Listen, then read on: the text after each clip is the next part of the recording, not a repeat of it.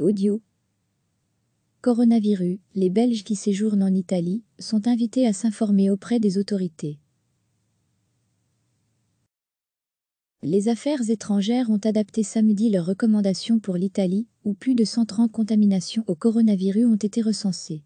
Les autorités locales ont pris des mesures de restriction dans 11 communes, Codogno, Casapusterlango, Castiglione Malo, Fombio, Bertonico, Castelgerindo, Somaglia, Sanfiorano, Terranova dei Pasrini et Voegano, indiquent les affaires étrangères dans une mise à jour de leur conseil aux voyageurs. Elles recommandent de suivre les consignes des autorités locales et de s'informer via le site du ministère de la Santé, salut.gov.ibar oblique nouveau coronavirus, ou le numéro vert 1500. Recevez chaque matin l'essentiel de l'actualité.